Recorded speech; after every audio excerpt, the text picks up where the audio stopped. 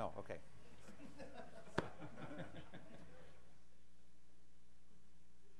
All right, it gives me really uh, great pleasure to uh, introduce uh, my good friend Mike Perfit, who's going to deliver, uh, I guess, what would be the 10th Tuve lecture. Um, before I, I, I, talk a little bit about uh, Mike's um, kind of interest in, in the ocean floor, I just want to make a couple points. Um, you know, the Earth's most active volcanoes are underwater, and uh, they make up 70, they produce 70% of the Earth's surface. And Mike uh, is, is one of the world's experts at, at how these volcanoes work and, and what they do to make the oceanic lithosphere. Um, it's a process that goes on all the time under our noses, and we wouldn't know about it unless you go there. And so one of the key features of Mike's um, uh, uh, career is he's, he, he's, he's gone there in many ways, gone down to the ridge, looked at it as a, as a volcanic um, object of study, something to try to uh, uh get the details of, of, how these volcanic processes work. Mike did his undergraduate um, degree at St. Lawrence, and then went to Columbia where he worked on a um, um, worked with a string of advisors there, including uh, Doc Ewing, Bruce Heezen, Bob Kay, and Ian Ridley.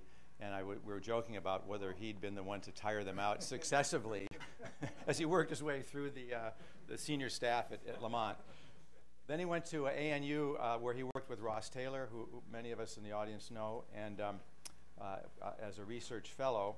And, and one of Mike's early interests uh, stemmed from his PhD work, uh, where he worked in arcs. He, he really started out as a petrologist working in, in arcs. He worked in, in the Caribbean in the Cayman, uh, Cayman Trench. He worked in the Aleutians, and uh, for his research fellowship at ANU, he worked at, in Papua New Guinea. Now it's interesting because I asked him how he got interested in ridges and working on ocean floor volcanism, and he said, well, his colleague um, Dan Fornari, who who plays prominently in, in, in, in the facilitating undersea work that Trish talked about yesterday and Mike's going to talk about today, had um, been working on Alvin and uh, had all these samples, but no one was analyzing them. And so Mike saw this golden opportunity. And it's interesting because when I first came to Carnegie, I had a suite of samples that had the very same characteristics. They were collected by Alvin, no one was working on them, and we decided to, to do isotopes on them. Uh, this is stuff I did on the oceanographer fracture zone.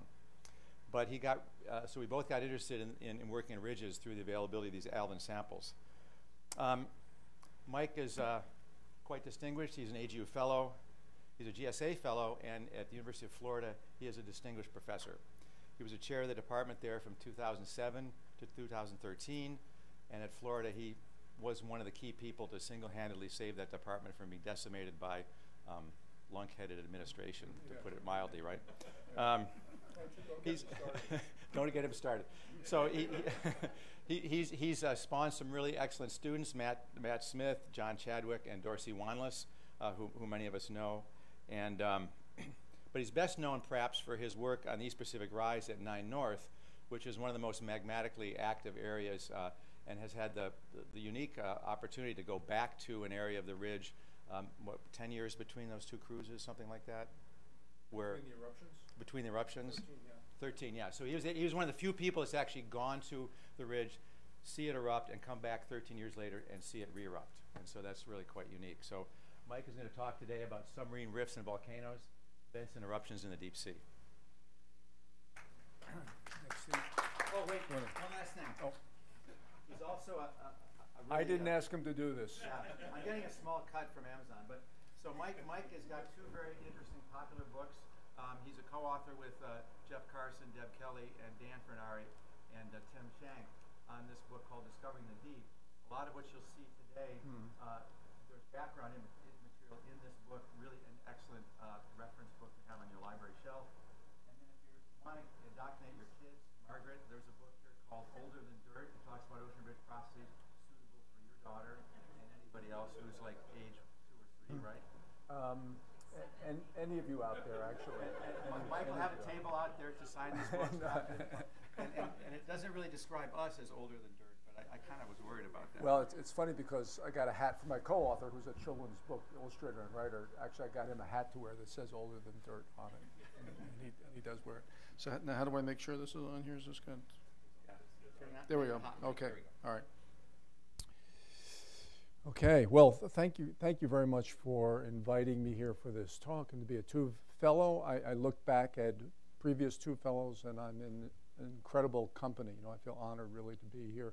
Remarkably, I have never been here before. It's one of those places where you come to Washington all the time and you hope to come up here and don't get here.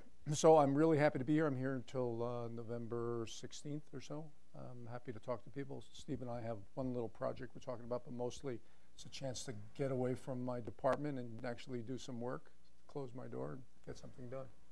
So I would like to um, talk about the seafloor today. I don't want to end the show. How did this happen?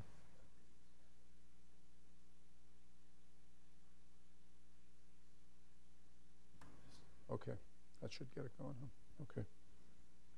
Okay, so why study mid-ocean ridges and seamounts? Really, they're the most extensive volcanoes on Earth, and they create 70 percent of the Earth's crust, the surface surface crust. So obviously, we, we should know something about it.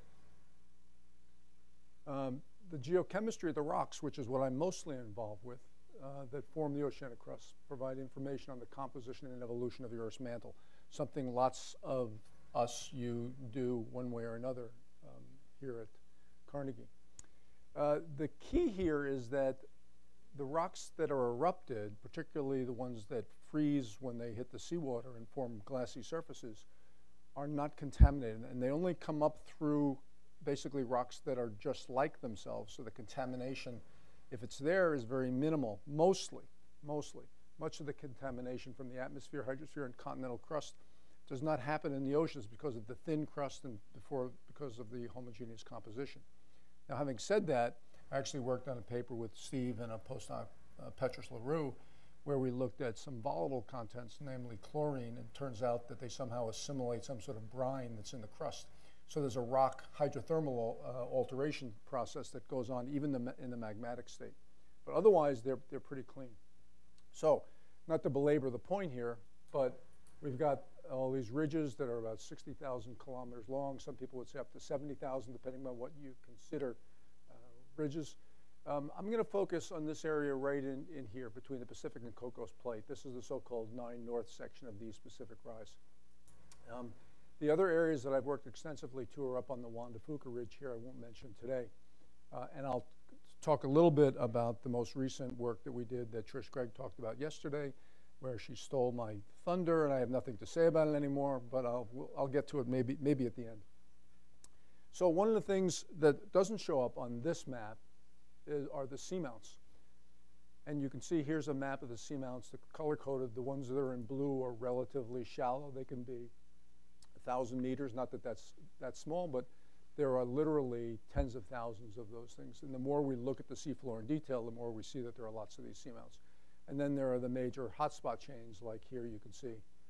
And of course, Hawaii is sort of a classic one here. So they also create a significant portion of the oceanic crust. So what else? Well, then there's the hydrothermal vent part. And, and I'm not a hydrothermal chemist, but if you dive to the bottom of the seafloor and you're looking for active uh, lava flows or eruptions or activity on the ridge crest at all, you're going to find hydrothermal vents. I remind you that it was only in the mid 70s that a few scientists went down in the Galapagos Rift and saw hydrothermal vents and giant tube worms. And they called up, you can call up from Alvin from the bottom through the water column. And they said, My God, we found like a garden of things. It looks like there's these giant tube worms that look like roses. It was called Rose Garden. And literally, the people who were on the surface said, "What are these guys smoking in the ball down here? This is this is crazy. It can't be possible." And then they brought the tube worms up, and that was just in the in the 70s, first um, recognition of that. And the importance there is that they provide the heat and chemicals that affect ocean chemistry and ultimately sustain life. And people are working on that a lot as to what the relationship is between hydrothermal activity and, and life itself. So volcanoes and vents are sort of windows into the Earth's interior. This is not the seafloor. This is a Kilauea on Hawaii. But you notice it's basically made up of a whole bunch of little plates, and they're like little spreading centers. And around the edges where it gets cold, they subduct. So in some ways, it's sort of a microcosm for the way the plates and spreading take place on the ocean floor. So it all begins with magma. Well, it'd be nice to be able to sample some magma before it becomes rock, but we have yet to see a mid-ocean ridge eruption. This is relatively recent. This is in a back arc basin. um, where they've been fortunate enough to see some things erupt, but it's relatively shallow where they're seeing it. They're on little, little cones in the back arc basin. So we have actually seen submarine eruptions, we just haven't seen mid-ocean ridge eruptions. I've been fortunate to be involved in cruises where we were there right after eruptions. This happens to be, make sure that's, yeah, this happens to be one of the effects. This is on axial seamount on the Juan de Fuca. This is what's called a snowblower event. And I showed this early on before I talk about vents because this happens a lot. Basically, when a dike comes up before it erupts or even after it erupts here, you bring heat up from deep within the crust. And deep within the crust, there's a whole variety, literally thousands of different types of microbes. And what you're seeing here is the, is the biological floc. It's sort of a cottony uh, organic material that, the, that these microbes um, produce and live in. And when the surrounding rock gets hot, basically these microbes find a, a, nice environment to live and they create this floc and you wind up getting this sort of a low temperature, relatively low temperature uh, hydrothermal vent. Temperatures can reach up, these, some of these microbes live in environments that are over 100 degrees C. So the thing about deep sea studies, and this is really going to be a, a broad picture study here, is that you have to involve the geosphere, the hydrosphere, and the biosphere. All those things are related. Um, we deal with geologic, biologic, and hydrological processes. So to fully understand the dynamics of this environment requires a wide range of expertise and global exploration. And I've been fortunate enough to be involved in this sort of global exploration since the early 80s. In fact, even when I was working in, in the Caribbean, we were, we were uh, finding spreading centers in the Cayman Trough back as early as the 70s and not really understanding them. So the, the deal here is that through multidisciplinary and collaborative efforts, we get to investigate um, the seafloor. Um, some of the other big pictures here, the oceans cover 75% of the surface, but really less than 5% in any detail. And the detail that we can get now, probably less than 1% of the seafloor has actually been, been surveyed in the detail that we did, like on the cruise with uh, Trish to the 820 seamounts. Um, what we know about the seafloor largely has occurred in the last 50 years and largely due to technological developments. And of course, it's been crucial uh, in, in, determining how the theory of plate tectonics works. Uh, these are some of my colleagues. I put that up there because uh, I could not have done most of the things I've done without having this multidisciplinary team. And in this case, these were my co-authors. And the fact that there was a bunch of us on here, the reason for that partly was because we had Dan Fornari, who is sort of a volcanologist and uh, someone who is technologically very advanced and helps deep submergent science. Deb Kelley, who's a hydrothermal geochemist. Tim Shank in the back, who's a deep sea vent biologist. And Jeff Karson, who's a sort of a tectonics dynamics guy. Uh, the, all of those people I've been with at sea and worked with at various times. Here, when we were at sea, this was the last time, this was my advisor, Ian Ridley. Dan Fornari again, who was one of the other co-chiefs. Denny Geist, who's a volcanologist my last PhD student here, Dorsey Wanless, and myself. Uh, this was an interesting cruise too. This was just last November because it had my very first PhD student, my, the last one that graduated, Dorsey Wanless, and a current one over here. So we were all together. If I had gotten Ian in here, we would have had sort of three generations of people that have been working with me. So what we really want to know ultimately is, you know, why study these, these rocks is because we want to know how, how the Earth works. And if we zoom in a little bit, what we're looking at is this small area here, right in the middle, this focused zone. And that's sort of important, the fact that this magmatism, even though the oceans are wide and there are seamounts, the mid-ocean ridges are very focused in, in these zones. And that is almost continuous in terms of magma production in these areas, at least in a geologic sense. And now that we've seen a number of eruptions, we realize that the, the, it, doesn't, it doesn't erupt throughout the length of a rift, which might be 20 to 60 kilometers but rather it erupts over very small areas, but very frequently on the, on the matter of, of decades for both fast and intermediate spreading rate ridges.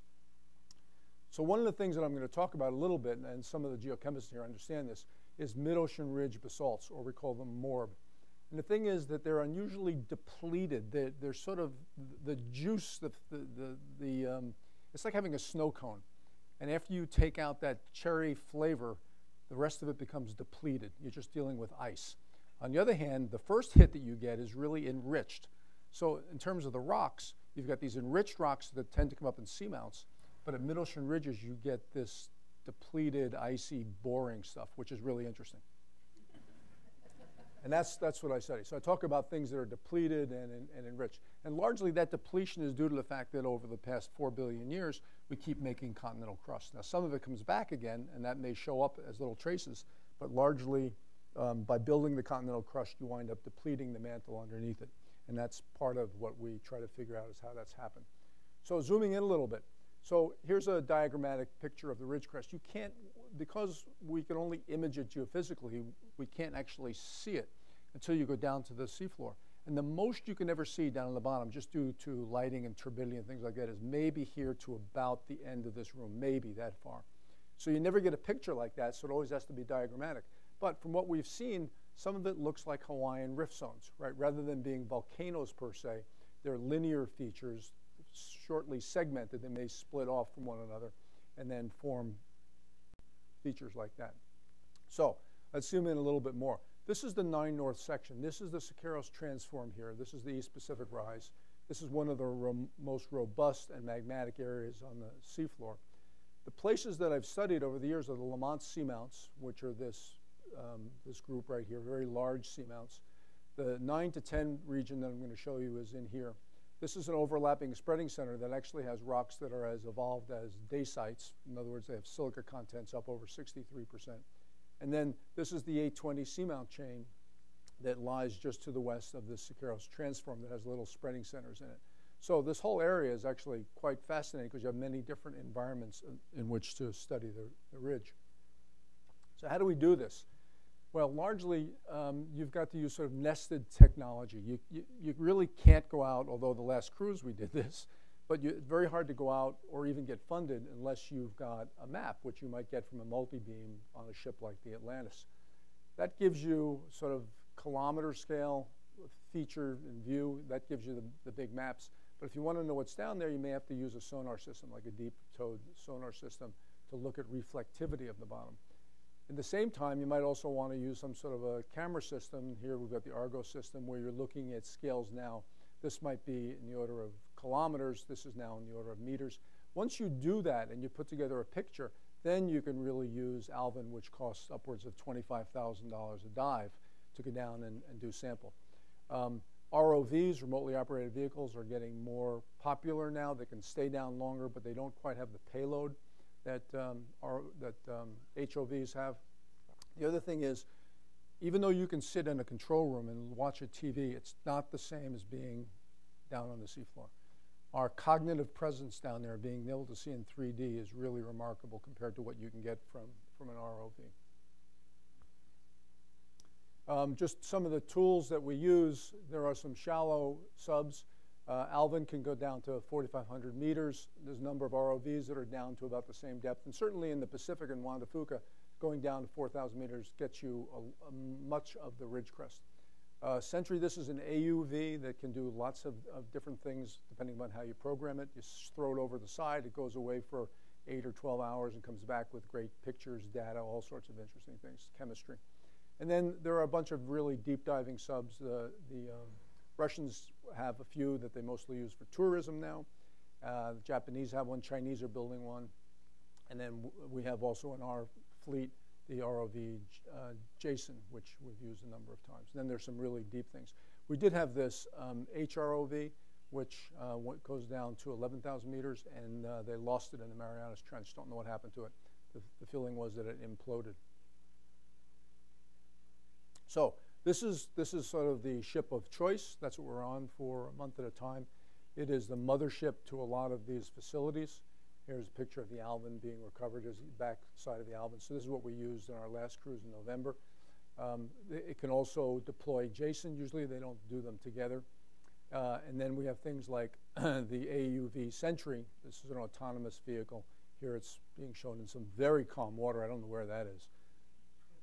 But um, we use them simultaneously. The Alvin can only dive for, during the day, so you would go down um, 7, 8 o'clock in the morning, come back up at 4, 5, 6 in the afternoon, depending upon battery power time, and then they would get the AUV ready and put that over the side, and we could, we could dredge during the night, which is the tried and true method that they've been using probably since the 1800s to pick up things.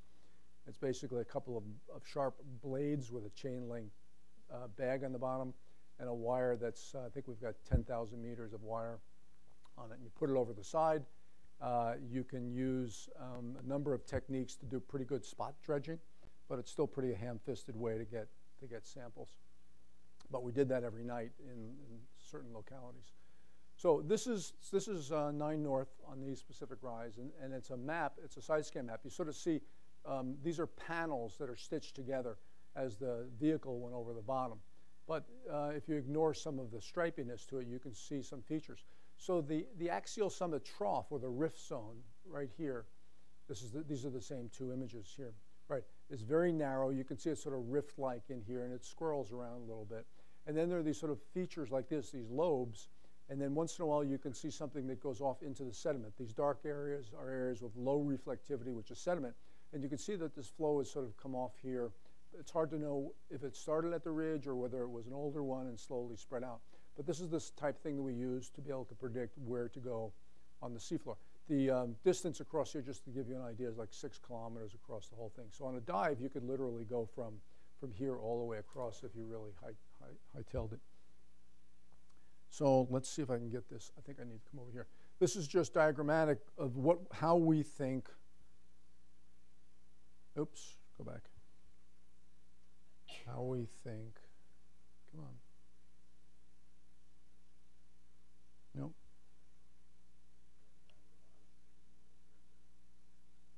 No. I did it before where we had it. Well. No. All right. You're going to have to believe me. We'll just move on from here anyhow. But it's sort of a diagrammatic representation of how these flows form. And what, one of the things that I'll just summarize here is basically you can get multiple flows during the same eruptive period. Some of these darker areas are more like sheet flows, and they can actually go as much as four kilometers off axis. Most of them stay in this area. These lobes are literally pillow and lobate flows that come out at various times. And what we know from studying the seafloor after eruptions, where we can see young lava flows, is that they come out in pulses that may last for days to, to weeks at a time. That's how long an eruption takes place. That's so it's relatively rapid.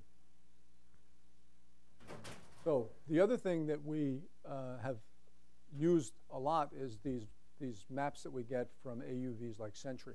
This is typical right here of what you would find. This is the, the definition you would get uh, from uh, multi-beam surveys, and you know it's not bad. You can see this is a, a caldera actually in the southern Pacific, um, but you can see the definition is much better here. Better here. So what I'm going to do is I'm going to zoom in on this area because you can't even tell how good the definition here is here. So we're going to look at a feature right, actually right there. That's very small feature right there in the next slide. That's the difference between them. This is a 50 meter grid. That little feature, whatever it is, is almost indistinguishable. And here, this is actually a little bit of a dome, sort of a silicic dome on the bottom. And you can literally see sort of the, the, the flow morphology that's on the bottom. So this is where we are now, being able to use um, these AUVs to map the seafloor at, at one, one meter. Uh, this was taken from our most recent cruise on the 820 Seamount. And what I have here is I've got the samples that we took. So this would have been one that we used this map to go down and decide where to sample as we, we took this, this dive on Otto Ridge. The colors just represent the different chemistries. This is a KTI. It's, it's an indicator of enrichment. Remember I talked about depletion and enrichment. And one of the things you see here, these blue colors are depleted sort of normal mid-ocean ridge basalts.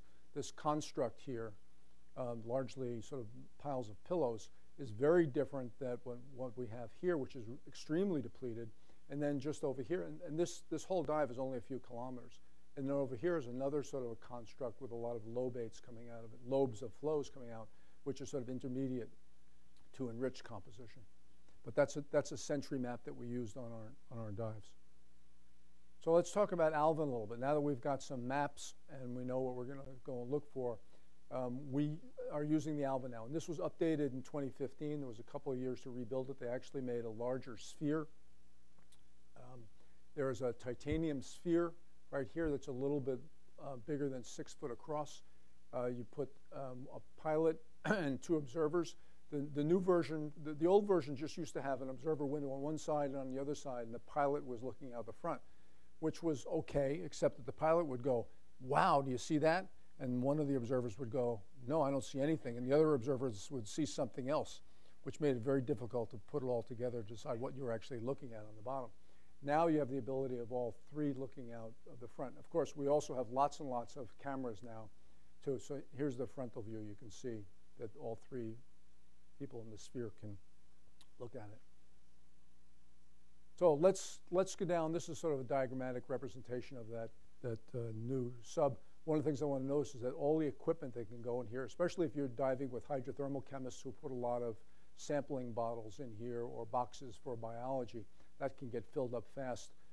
Our precious rocks wind up having to be piled up on top of each other instead of piling them up on top of biology, but that's the price we pay for having rocks. So let's, let's take a dive. Let's see what it's like. So usually they get you up really early in the morning. You notice right here I have this uh, great uh, costume on with little black socks, you know, and it's, it's hot on the East Pacific Rise. So you go in like that, and then later on I'll, be, I'll come out and I'll have a hat and I'll have um, wool sweater on because it gets cold down there. The, the, ambient temperature at the seafloor is 2 degrees centigrade. Uh, it's pretty tight quarters. It's a little bit better in there now because the electronics have gotten smaller and smaller, so you've got a little bit more room. Um, looking out that front window, this is still up in the up near the surface. That's why there's a lot of light coming in. But it's it's a lot more comfortable than it used to be. Although I have to say that after eight hours, uh, it, it gets a little bit difficult. So six foot titanium sphere. Those of you who haven't heard of it, six foot, basically my arms across, and there's going to be three of us in there, right, and six six feet tall. It gets tight. It gets very tight in there, and you need to be good friends by the time you come out. As a pilot, chief scientist, observer, basically, if the battery powers last for a long time, which they're doing better and better now, it's about eight hours in the ball, as they call it. It's about two hours to get down to 2,500 meters um, maybe four hours of bottom time doing science, and then an hour and a half back up to the, to the surface again. Um, here's a bunch of pilots, and you can see how close quarters it is. Um, it's uh, definitely close in there. And uh, Trish Gregg, there she was. This was on her first dive. I had the honor of taking her down on her first dive. she was way too excited about this. She was even excited about the lunch they give you, which is like a peanut butter and jelly sandwich and uh, ham and cheese, right? Is that what you like? Was that your favorite, ham and cheese? Yeah.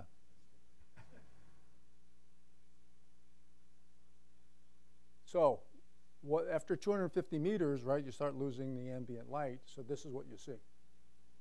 Yeah. Although Trish talked about the fact that there's lots of things glowing in the water, and if you look carefully and your eyes adjust, you can actually see there's a lot of life that's floating around as you go down towards the bottom. But mostly, you see this.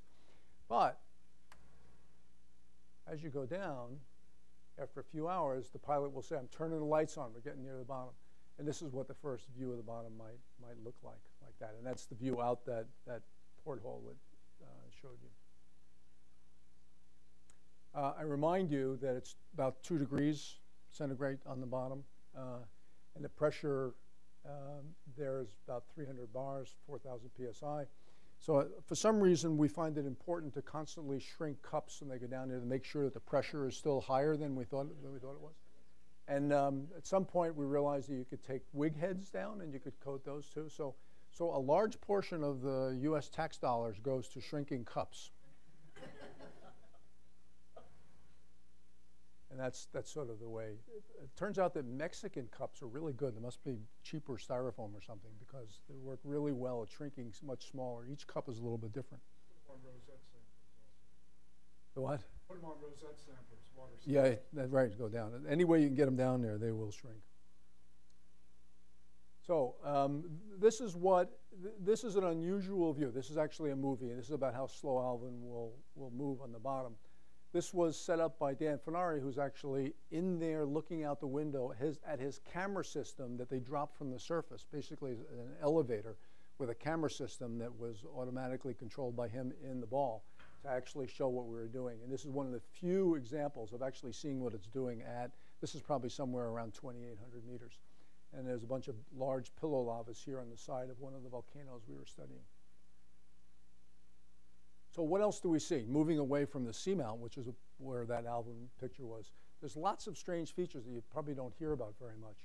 And East Pacific Rise is particularly like that. One thing is called lava pillars, and you can see these things that were at one time called bathtub rings. They're still not really well understood, but it has something to do with vapor interacting with lava lakes. These basically form in, in big lava lakes or in the axis of the, of the spreading center. Pillow lava is pretty common here. We have a little bit of spill out. Sometimes they fill, fill up and the front of them will, will break off or explode off, and you wind up getting smaller and smaller little squirrely pillows. This is a holothurian on the bottom over here. One of the major types that you don't hear about are lobate flows and they are large interconnected lobes, and you can see the difference between this and the very well-formed pillows. You also notice in here, I'll show you, that there's, there's a cavity underneath them. And it turns out that these are not all that solid. Some cases they are, but largely there's cavities underneath. Again, an indication of how lava will interact with seawater on the seafloor as they flow over it fairly rapidly. Uh, the staining here, basically it's uh, sulfur staining, and th this is because around the edges of these where it's open to the seafloor, uh, you get um, hydrothermal activity, low, very low temperature hydrothermal activity. So again, you can't see what the ridge looks like over any distance. So I created this diagram that basically shows you some of the features. This would be the axial summit trough or the rift zone. And things are really concentrated. If, if there are dikes that are feeding the lava flows, the dikes seem to occur right along this, this single point. Um, the hydrothermal activity is very much focused right within the axis itself. The feeling is that this really fills up with lava and overflows to the side, giving you a whole bunch of lava flows, which then collapse. Um, and then it drains back again, and it leaves a lot of shattered pieces of basalt around the edges of this drained lava lake and the sheet flows in, in the bottom of, of the lake. So, and the scale here, here's Alvin just for scale about how big this is. Some, a lot of times you can get into the axis and drive along, certainly when we're sampling hydrothermal fluids are in there, but sometimes it actually gets narrow enough that you can't, you have to come back out again. The other thing I want to point out are these pillow mounds, that these are not formed, they may form close to the axis and raft off, but largely they occur along faults that occur some kilometers off axis, and they seem to be sourced by something different than what erupts in the axis itself. Um, so some of the features. Here's, here's uh, sort of sheet flows off axis with a bunch of uh, pillows over sheet flows. And this is the type of thing that erupts off axis on top of what's already been erupted. Here's some lava pillars like this one. This is the top of it. Sometimes they actually vent out of the top. So the inside of these pillars are hollow and the outside has been quenched uh, along um, as, as the lava flows filled up in the lava lake. Uh, here's a lobate collapse. That's what this areas are like where they collapse in here. And there's lots of that on East Pacific Rise. And then one of the things that's, that was told us about this vapor lava interaction is the fact that there are lava drips underneath some of these lobates. Now, if you think about it, you erupt the lava on the seafloor 2 degrees centigrade, it immediately forms a glass. It doesn't flow anyplace. That, that's what's so good about sampling them. To have a drip, you have to have temperatures that are upwards of 7 or 800 degrees centigrade for it to drip into. It can't drip into a vacuum, right? There is no vacuum down there. So these things are forming in some sort of a superheated uh, vapor phase that forms when the ridges erupt. An another picture of some of the lava pillars that hold up the lava lakes. After the lake drains away, um, we get a lot of collapse, so there's a lot of collapse debris in here. But the pillars along the edges often stand up and they create these, these nice little chapel-like features. And here's a close-up of what one of those pillars looks like. And you can see that they're not really um, bathtub rings, they're more like cusps, like bubbles, like elongated bubbles that form in there. Uh, this was one of the areas, here's one of these lobate flows again with the drips underneath. It's a little bit hard to see in this picture, but I'll show you what the drips look like. So this is the underside of the lava flow. This side is all glassy. You notice this side doesn't really have a lot of glass, but, but look at the drips that are underneath this here. And sometimes there are some very strange mineralogies, including uh, we found halite here, which suggests that it's sort of a briny fluid uh, vapor phase. Uh, just some other uh, picture, pictures of things you see in the bottom. Sometimes these things are fluid enough they create pahoehoe-like flows, or ropey sheet flow. Um, here's one with low temperature venting around a bunch of pillows with a, with a larger pillow over a bunch of more lobated pillows. Uh, this is one of the few massive flows. This was actually drilled in IODP at one time, trying to drill into bare rock. Those of you who are familiar with the deep sea drilling program, um, you realize that we've hardly drilled uh, anywhere near the whole thickness of the oceanic crust. And the problem is getting in because you saw all that debris, it basically just breaks up the drill strings, the, the drill heads. But they were able to spud in here and get some five to 10 meters, and then they hit a, a rubbly zone and couldn't, um, couldn't go any further. Uh, still have no idea. These are all Galatheid crabs or rock lobsters. I don't know where they are going, but it looks like it's an important thing headed up towards the north here. so this is a diagrammatic thing from NOAA. Um, they cr created this digital image just to give you an idea. So this is flying over a collapsed lava lake, and there's a few pillars left on the side, a few little chapel-like features, and then the scale you can see here. That thing's called a rumbleometer in the middle of it. This was axial volcano on the Juan de Fuca, which actually recorded the inflation of the caldera and then the ultimate eruption. And then here's another, an ROV just for, for scale. So, science at sea, what do we do? Well, after the sub comes up, we have to distribute the samples. And you can see people tend to hang around because they want to see what's going on. Tim Shank here is probably yelling at me because there's some biology in this bio box, and I'm concerned about the rocks. You notice that the biologists also make me wear gloves now so I don't get my nasty human bacteria mixed up with uh, subsea bacteria. Uh, the lab, this was on our cruise, this Ian Ridley. You see Steve here looking very concerned, thinking about diamonds and why is he out at sea at this point. And uh, this is what he did. You know, he was, he was there. He took his first first dive. He got in for his first first time uh, into the sub. Uh, he had to go through training in case we threw him overboard at any one time. He was going to have to have his suit to do that. Here he is, very happy standing standing out there. And of course, eating his. I think this was your pre-dive meal. Is that right? Because it looks pretty sparse. Yeah. Yeah, you gotta eat light. Yeah. You don't want to eat a lot before you go down in the sub. Uh, Trish always eats that way, so we have no idea how much she did eat or not. Uh, rocks come up, you eventually bring them in to get cut, and you can see here was uh, one of Trish's students. Um, she really enjoyed cutting the rocks. You saw Steve yesterday cutting it. Uh, he didn't get quite as messy as uh, Haley did here. This is one of my students describing the rocks. So we spent a lot of time on shifts. We were working basically 24 hours a day, three different shifts, uh, people constantly cutting the rocks, describing the rocks and sampling the rocks. So what do they do with them? So, so here's a nice glassy one. Uh, this was from these Pacific rocks. You see the beautiful glass on the surface.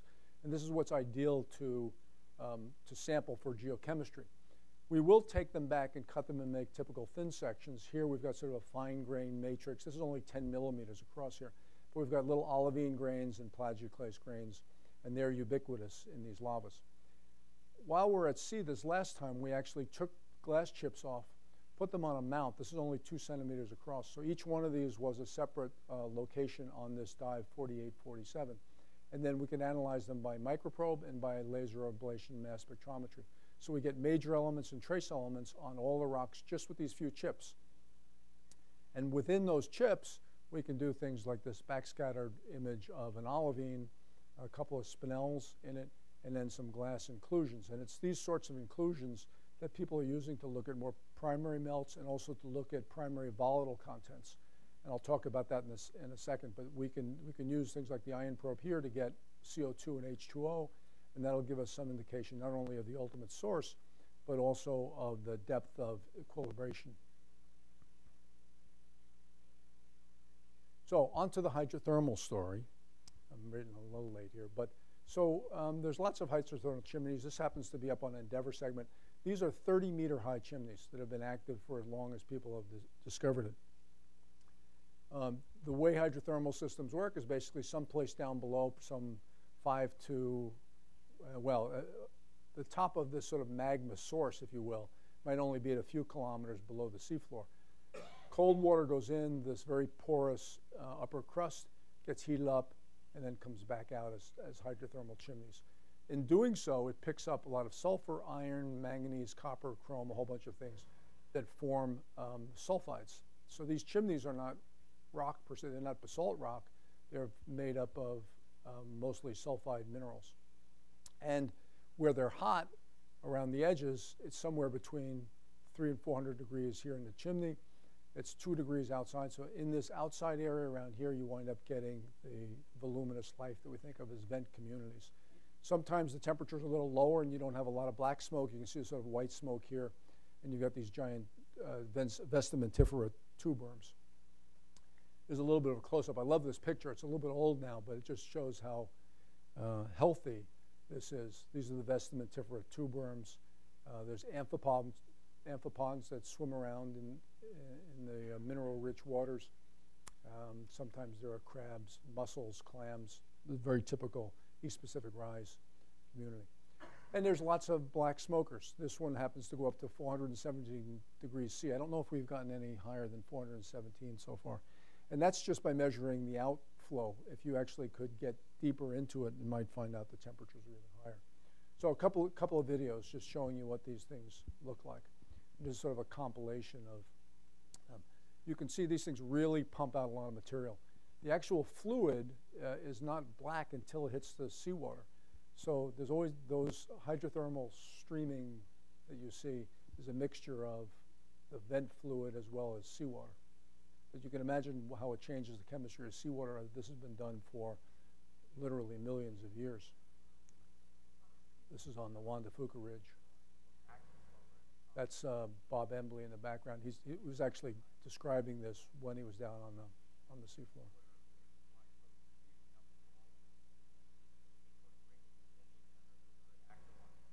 And those chimneys can form in a matter of days to weeks and then fall over, create a lot of debris at the base of them, and then start to form again.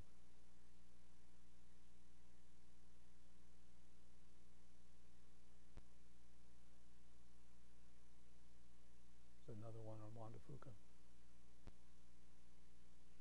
So one of the things that scientists have been able to do is if you don't have a sub or an ROV, is you can uh, take a camera system or you can use an AUV and you can use sort of a sniffer that sniffs out things like sulfur or manganese or iron. Uh, and, and it would define what's called a plume or a megaplume. And particularly when there's an eruption, there's a lot of this that goes on. The chimneys start to form almost immediately. And you could, I, I would say, smell, if you will, you could smell the fact that there was an eruption by looking for, for megaplumes. So the, the, the, sulfides that are formed are things like pyrite and chalcopyrite. Fool's gold is, is a typical mineral that these would be made of. Little bit lower temperature, but still hot. Like I say, some of these worms can be in 100 degree water. A lot of them seem to form at um, 23, 24 degrees. They seem to like that. This is a, a recent horror film that I've made. Some of these things are really ugly, and sometimes we have to share the, the biologists and the geologists have to share, share labs. Not fun.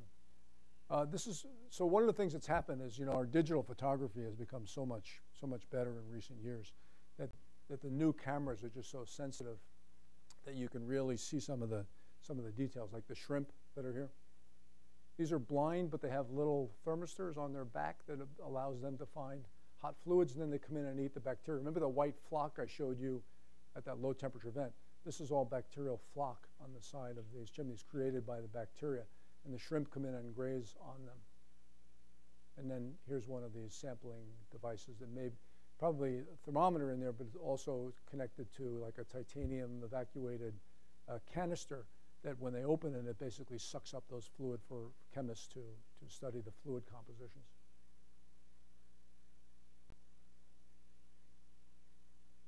Uh, low temperature vent right within the rocks. Here again, we've got tube worms growing right from the rocks. So not really at a vent here, but because the seafloor is hot uh, and it's bringing up minerals that can be oxidized by the bacteria, the bacteria start to colonize, and then the tube worms find a way to colonize on top of that. They work in a symbiotic relationship with the bacteria. Uh, it's all chemosynthetic processes that are involved. Clam field, just give you an idea of how big the clams are. Tim is a normal sized person, so those are, those are big clams. But they all smell of sulfur, that smell, that rotten egg smell, because they're the sulfide uh, eating bacteria, if you will. Uh, the Atlantic has a, a, whole different biology, very different for the biologist. Here is a chimney in, in the Atlantic. You notice also there's a little uh, crab in here too. But these things are all over this chimney. And back to that again. Um, here's one that shows this is an eel pout that's living in there. You see the brachyurine crabs that are in there. Sometimes there's uh, octopi that swim around the vents as well.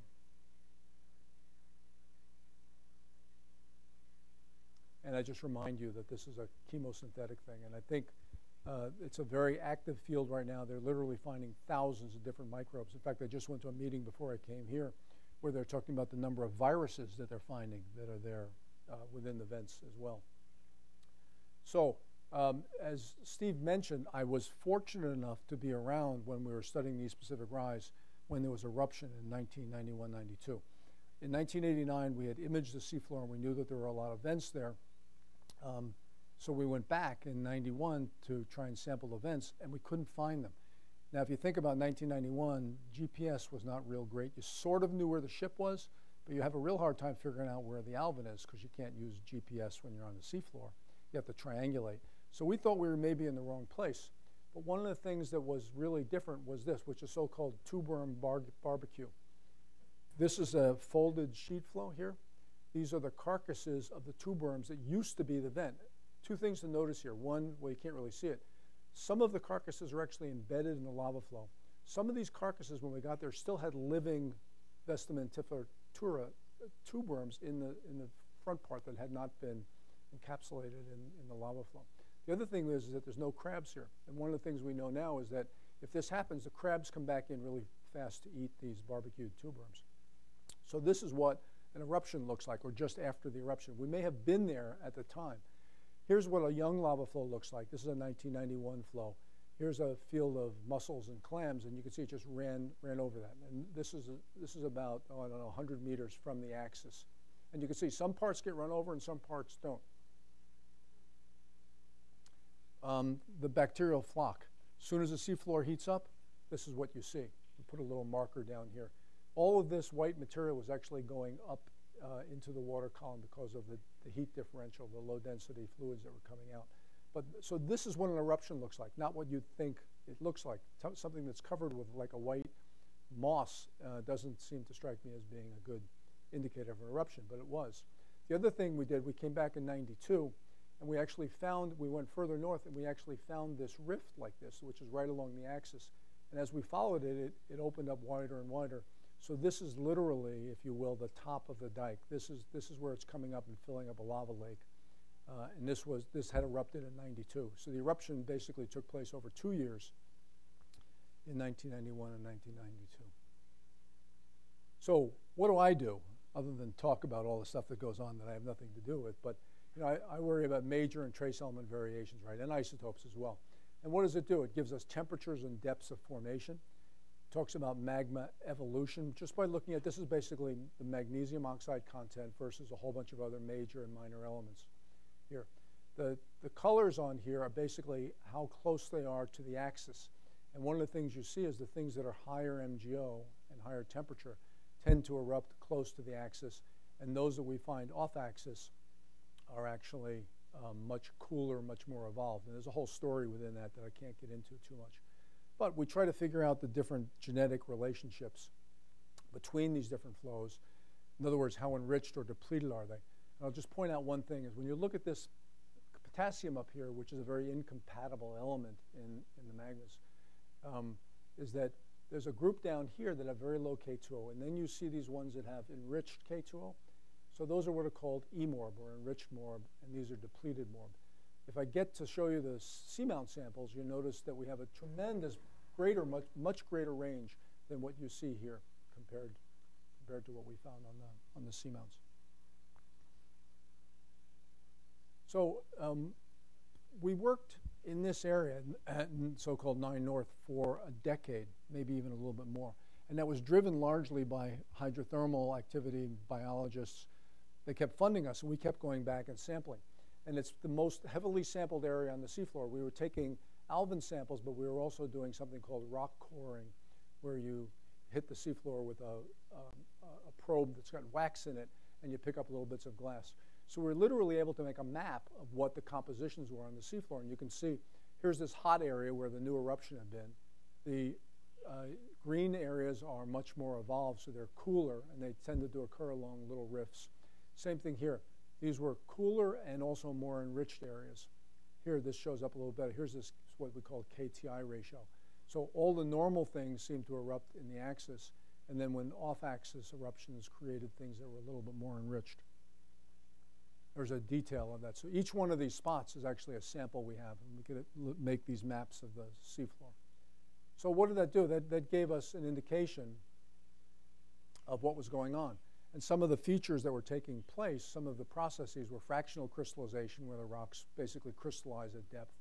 We also indicated that there's probably magma mixing. So this is the diagrammatic picture of what's happening in the so-called magma chamber. This is circa 90s, early 2000. And you see we have sort of a big mushy zone, We've got a magma lens underneath the ridge. And here's that little area we've been studying, just up here. But with our um, off-axis sampling, we were actually getting out a few kilometers so we could tell something else that was going on on the side. We also saw melt rock reaction and crustal assimilation. This study that I did with Steve looking at chlorine suggested that there's assimilation as these magmas come up, they, they assimilate and partially melt the, the crust around them. Ultimately, we wanted to look at the sources, so we would look at variable and mantle sources, the mineralogic control, uh, cryptic chemical variations, variable extents of melting, and depths of melting. All of these things are things we've been working on for the last 20 years to try and sort out how the whole system works. The model for mid-ocean ridges, though, has, has evolved.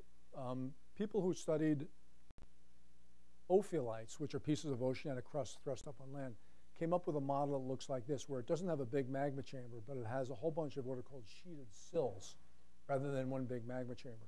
And it turns out that geophysicists who were doing seismic imaging on the Juan de Fuca and on East Pacific Rise found that here's the axis, and they found that there were these sills, these magma bodies that were actually pretty deep, and they were a couple of kilometers off axis. These were all individual sills here.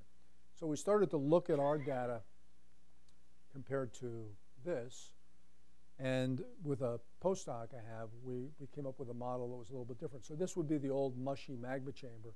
But the reality is there's lots of things going on throughout the column. This would be maybe five, five kilometers deep. The mantle would be down here someplace. And it's cooler on the outside, so you wind up getting more evolved lavas. And you're also seeing less mixing, which allows you to see things that are more enriched away from the major axis where most of the mixing takes place. So that's, that's sort of the current state of the art, if you will. So 2005, 2006. We're still studying it. We come back there again. Um, geophysicists put down some ocean bottom seismometers to look for earthquakes that might be taking place all the time down there. We can't find them. They got caught in a new lava flow. Same place, 13 years later. We have no idea what the time scales for eruptions are. Some of them made it back, some of them didn't do so well. But again, when you, when you look at really recent flows, this is the 2005 2006 flow over the 91 92 flow, and you can see the difference between the two of them based on the reflectivity of the, of the surface. This was pre, this was 2004. It's a very instrumented vent down in the bottom. You can see all these instruments sort of measuring lots of chemical and thermal properties of this. When we came back, and now we really know where we are, when we came back, that's what it looked like. Similarly, vent called Tica Vent, 2004. When we came back, that's what it looked like. So this repaving, this activity, we're talking about the mid-ocean ridge being a very, very active volcano. It's just that they're not um, big eruptions, at least as far as we can tell. Similar thing happened, bacterial mats, new tube worm colonies starting up almost immediately. And my part of this, again, was to look at how the chemistry had changed. And in this case, this was the 91, 92 eruption here, and then this was the new eruption. It actually had a couple of different parts to it, different compositions. What was interesting is mostly we think of new eruptions putting in new, very hot mafic magma. In other words, we would think of new magma being over here someplace. Turns out that instead we were looking at some sort of residual magma that was evolving and cooling with time. And we were able to map the flow and get samples all the way along. So this is, so again, the state of the art of where we are, where we are now. Some of the other information you can get is depths of crystallization. Turns out that at least some of these samples had chemistry that suggested there was high pressure crystallization rather than shallow crystallization. And that was confirmed to a certain extent by some work that uh, Dorsey Wanless, my ex-PhD student, did with Wanless and Shaw. They looked at the melt inclusions, and the depth of equilibration was anywhere from just about at the mantle here, all these rocks here. These are uh, fluid inclusion, melt inclusions in olivine, and you can see that the depth was, a lot of them occurred equilibrated right at the boundary where the magma lens is, but you can see that there's actually a fair number of them that showed equilibration pressures much deeper. The other thing that we found out by doing these detailed studies is that the seismologists, when they look at the reflectivity of the melt lens, found little gaps in the melt lens. So along axis, it's not continuous. It's literally these relatively small scale of five kilometer melt lenses that feed the lavas up above. And what we found from our studies was not only are they broken up into these segments, but actually each one of these areas had a slightly different chemistry. So it's not just one big magma chamber, it's not one big long 20 kilometer rift, but rather it's things that are small and um, eruptible over very short, short time periods. And then I had another postdoc who came up with a model for it, which here is quite complicated. Uh, that's maybe the take-home message, is that we know a lot about it, but also turns out it's not a, not a simple system. There's a lot of things going on. So to end up with, this is what uh, Trish Gregg talked about yesterday in order to try and figure out what's actually happening in the mantle, you need to get away from the spreading centers. Here, here, this is looking along axis. This is the 9 North Spreading Center. Here's the Siqueiros. And here's the 820 seamounts that come out from the ridge.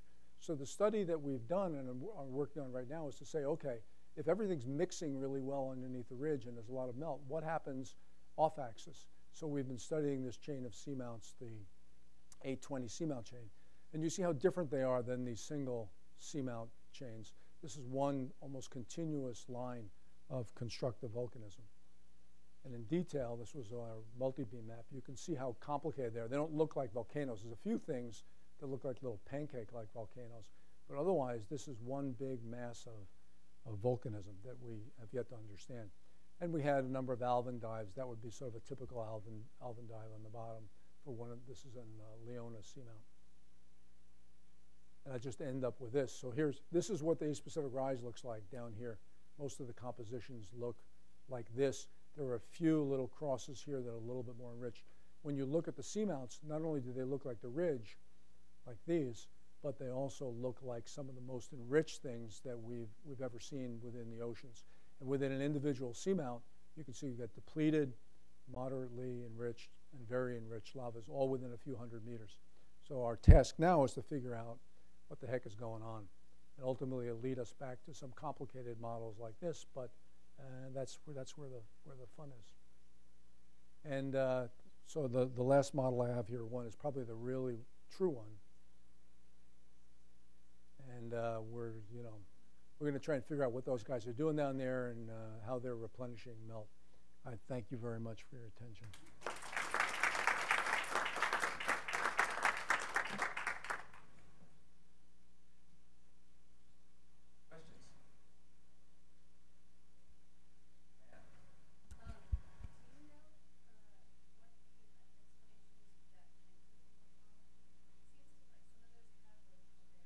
Yeah, yeah.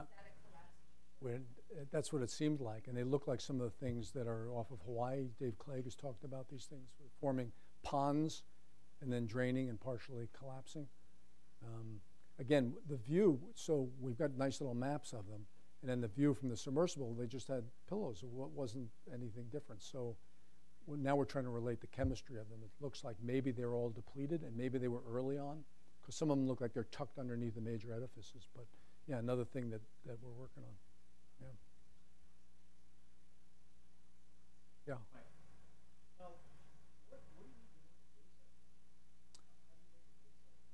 Make the what the? A oh, a dacite. Yeah. That's a whole nother story. um, it, almost always these things. So so in petrologic terms, basalts are things that would commonly erupt in Hawaii. They're sort of the, the, the parental things. As they cool and evolve, you get andesites and then dacites, but that's pretty far. You need like 90% crystallization to do that, right? So there's, there's two things you have to know about this is that almost in every place where we find andesites and dacites, it's at the edge of a, end of a ridge segment. The ones on the EPR are at an overlapper, and one of them is propagating into old crust. So it gives you a cool environment that doesn't constantly remix. The other thing is that the trace elements tell you that they're probably assimilating some partial melts in the crust. So the basalts come up, they start to assimilate, they cool down, they fractionate, and then they mix with this assimilant. And you get, you can model that as dacite. Some people would argue, but, it's, but it seems to work pretty well. So, another good question. You need to come and see me. but um, the basalts show a continuum. And then sometimes what happens is it jumps over to andesite and dacite, and there's basaltic andesites. So there's a gap in there. It's like the so-called Daly gap where there's some missing things. Sometimes it's the whole thing. But there's definitely this mixing, and it's always mixing between some really evolved basalt and dacite, or maybe even something higher silica, like a rhyodacite. Right? So, and, you know, and that might be the partial melt ember. Nobody has really identified what that is exactly, but the, the lines on diagrams always point to something in, in that direction. It may be 70% silica. Yeah. But you don't find them on a normal, normal ridge. They're, they're pretty monotonous. You know, starts off 8.5% MgO, goes to 7.5.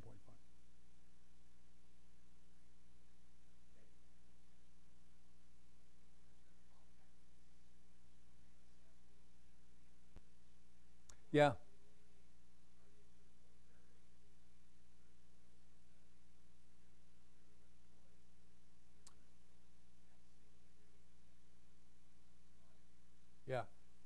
So a couple things. The, the, axial material does tend to be the most homogeneous, which sort of fits with it, just mixing a lot. If you're erupting every 10 years, you probably have a very active magmatic system.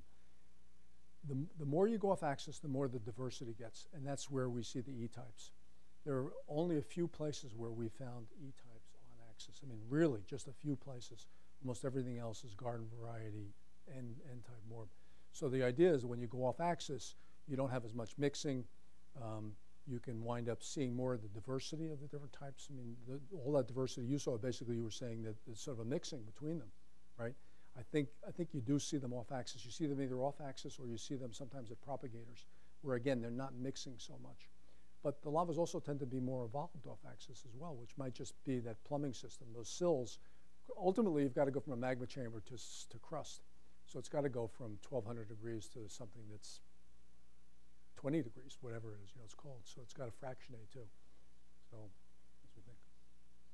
Yeah. Like that range of you have seems too big to be this, this partial melting. Absolutely. 7035. 7035.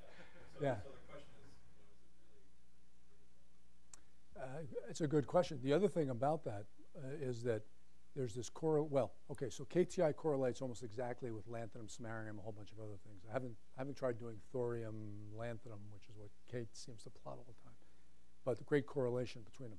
The other unusual thing is that there are hardly any high MgO, high KTI. There's almost a, a great correlation between KTI and MgO, which doesn't make sense, but that might be because it's another source. Yeah. Right. But, but all, of, all of the experimental studies that I've looked at, even when you melt the peridotites, you still get parents that are, I don't know, 8, 9, 10, 10%. But, but maybe then they fractionate, I don't know. But it's remarkable, that correlation. There's this great MGO, well, there's a spread of MGO, but there's no high KTI, high MGO lavas, like higher than 8. So, I, no, I agree. I, I, think, I think there's that other source that's, that's involved, that's enriched.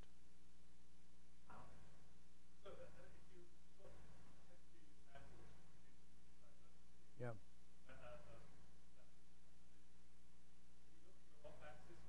Yeah.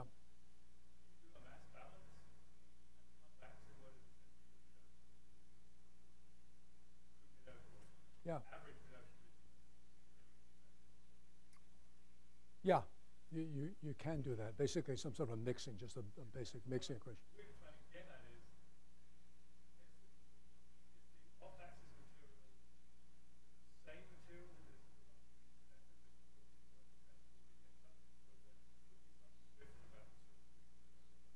I, because, because the isotopic values of those enriched ones off axis are different, they're more radiogenic. It's got to be a different source.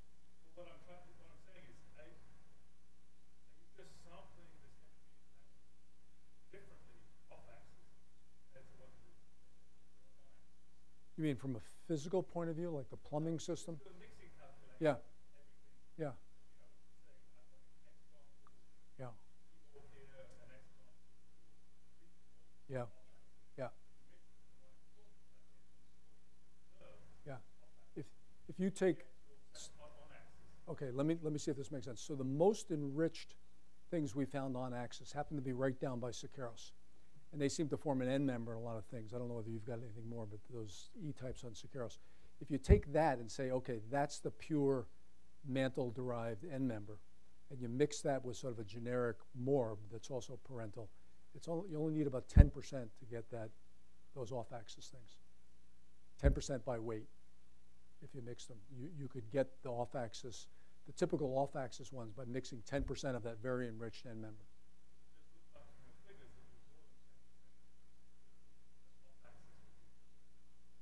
In terms of the total volume? I know, we'll talk about, it, yeah, but in, just in terms of the chemistry, if you take this end member and morb, to get to the ones that are off axis, you just have to add 10%. Yeah. Physically, yeah. I, I think part of that problem is what, what's happening in the melt lens, what's happening in those sills, rather than just a magma chamber. That's another part, because if you really believe that some of those things that are coming off axis are formed from sills that are unconnected to the main magma chamber, that simple mixing now becomes, it's, it's a moot point. It's got to be something that's happening in the plumbing system at that point. But it's all pretty narrow. I mean, it's all taking place over a 10 kilometer swath when you talk about the mantle melting over hundreds of kilometers. Right? But that's why the seamounts are sort of cool because they're really showing a lot of, a lot of diversity on individual cones. I don't know, I can kind of answer this, but I'm wondering about the scale of the hundred medium as far as like the typical, the mantle source, Yeah. looking at water size, but it's maybe larger batteries, sampling array, not I, I think it's got to be sub-kilometer scale heter- heterogeneity. Again, it depends on how those things wind up coming up to the surface. But when you can sample one cone here and walk, you know, 50 meters that way, and there's another one that's got a completely different composition, mantle composition, right? Yeah, what does, what does that say? Now, we don't have any timing. That's the problem, is you don't really know the time. But they're all sitting on top of these constructions, so I can't imagine that this thing over here is 100,000 years old, and this thing over here is 10,000 years old. kind of a bit shocking that it gets Yeah, yeah. Yeah, it's, it, physically, I don't know how it, how it happens. The plumbing system is hard. It's great when you just take a whole bunch of rocks and you draw that big diagram like I had with, you know, melts coming up.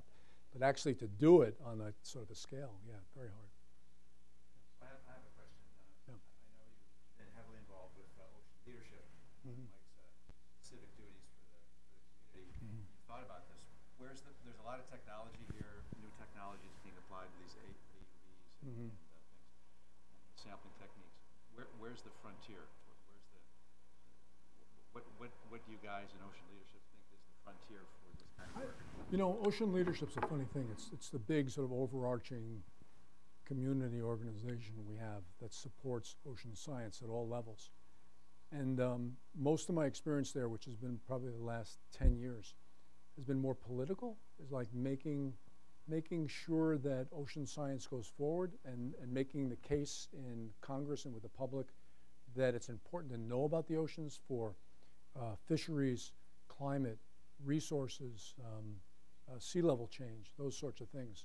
Just supporting all of them. I mean, it's so broad that there are some plans about things that they think need to be done, but it really is more global about we need to know about everything about the oceans, and we don't know enough now.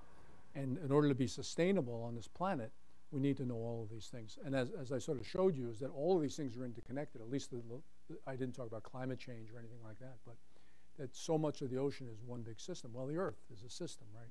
And if you don't know about 70% of it, then you're missing a lot. So I think that's mostly what ocean leadership does. And I think they have to because AGU does some, you know, GSA does some, and they're all help, but you really need a, a big organization that has 100 universities and, and institutes with some power behind it to go up to Congress and say, hey, this is an important thing. You need to support this. That's Um, you. Uh, let's, let's, um, remind ourselves that Mike will be around for a month, Mhm. almost Thanksgiving. Yep. He's got plenty of chan- chance to talk to people, He's laid out a, a really interesting uh, perspective on the oceans. There's lots of interesting things that we can learn from talking to him. He's going to give a talk on November 1st to the postdoc uh, forum on uh, kind of career decisions and also maybe you know what it's like to work uh, you know at sea and not, not just be at sea, but you know how, how the system works, you know how how, it's, how the funding works and that kind of. So that's uh, 11 o'clock on November 1st. Let's give Mike a nice round of applause. Thank you very much.